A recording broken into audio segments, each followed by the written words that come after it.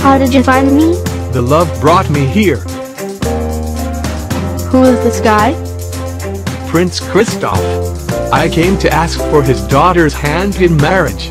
Yes, of course. He needs a wedding dress, party and many other things. But what about me? I don't know. Did you get married a prince?